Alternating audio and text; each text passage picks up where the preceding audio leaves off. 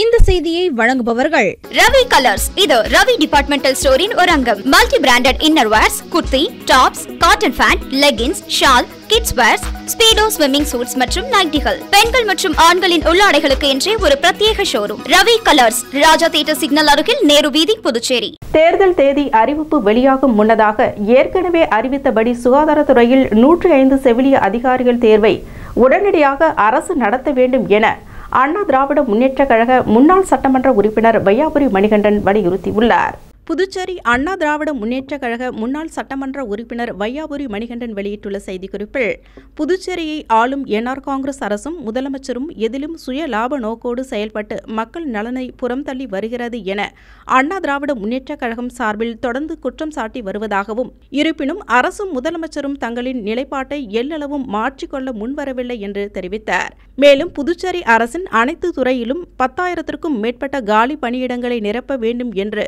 தொடர்ந்து அண்ணா திராவிட முன்னேற்றக் கழகம் சார்பில் வலியுறுத்தி வருவதாகவும் இதன் எதிரொலியாக ஒரு சில துறைகளில் பணி நியமனம் நடைபெற்று வருவதாகவும் புதுச்சேரி சுகாதாரத்துறையில் நூற்று ஐந்து செவிலிய அதிகாரிகள் பணியிடங்களுக்கு விண்ணப்பங்கள் பெறப்பட்டுள்ளது இந்த பணியில் சேர ஆயிரக்கணக்கானவர்கள் விண்ணப்பித்து அரசின் தேர்வு நாளை எதிர்நோக்கி காத்திருக்கின்றனர். இத்தகைய சூழ்நிலையில் சுயநல முதலமைச்சர் பாராளுமன்ற தேர்தலை கருத்தில் கொண்டு சட்டமன்ற உறுப்பினர்களை திருப்திப்படுத்த வேண்டும் என்ற நோக்கில் அறிவிப்பு வெளியிட்ட நூற்றி ஐந்து பேருடன் கூடுதலாக ஐம்பது பேரை அறிவிப்பு இல்லாமல் வேலையில் சேர்க்க அதிகாரிகளை நிர்பந்தம் செய்து வருவதாக தகவல்கள் வெளியாகி உள்ளது என்றும் குறிப்பிட்டுள்ளார். இது ஏற்கனவே விண்ணப்பித்து தேர்வு எழுத காத்திருக்கும் மாணவர்கள் மத்தியில் பெரும் அதிர்ச்சியினை ஏற்படுத்தியுள்ளது.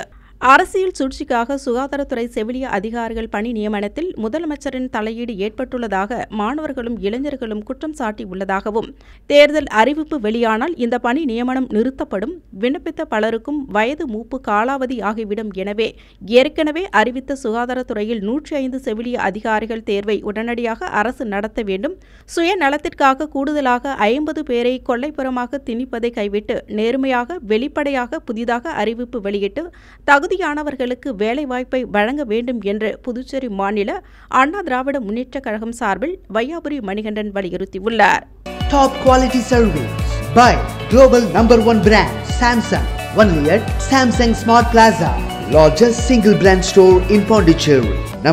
Four Anna சாலை பாண்டிச்சேரி புதுச்சேரி உங்கள் ஏஎம்என் டிவி செய்திகளை யூடியூபில் உடனுக்குடன் காண ஏஎம்என் டிவி பாண்டிச்சேரி சேனலை சப்ஸ்கிரைப் செய்யுங்கள். பெல் பட்டனை மறக்காமல் கிளிக் செய்யுங்கள்.